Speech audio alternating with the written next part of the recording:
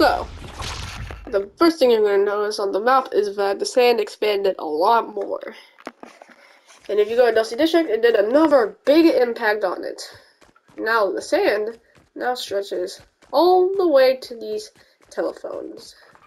You can also find three new, well, you can find two new talkable characters too. One of them is in Dusty District right here, and the other one you can find right here, like somewhere right here in Creepy Cabins, I think.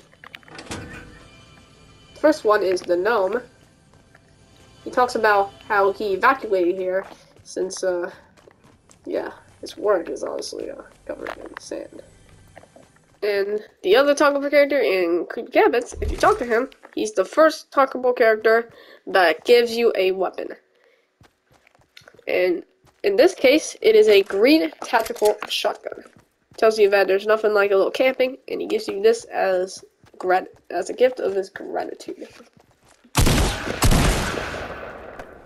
The Bucket Man has moved once again, and you can see, you talk to him again, tells you that he's still on a quest to find a new home, and that he's resting here for a week.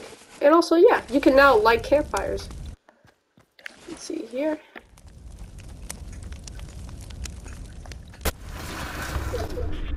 If you go over to Tiny Town, as you can see, just like the Jonesies and Bears from last time, they expanded once more. They now took over Big Shots as a complete tower, an entire lab research facility.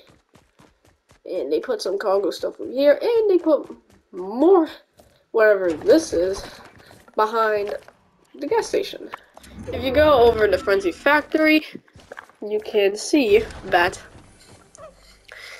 the one of the trucks were trying to pick up some cargo stuff, but accidentally flipped and knocked the stuff they were trying to pick up uh, flipped over.